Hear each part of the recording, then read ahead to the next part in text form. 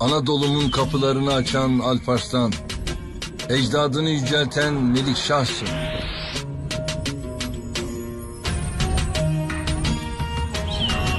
Gördüğün rüyadır hayır alamet.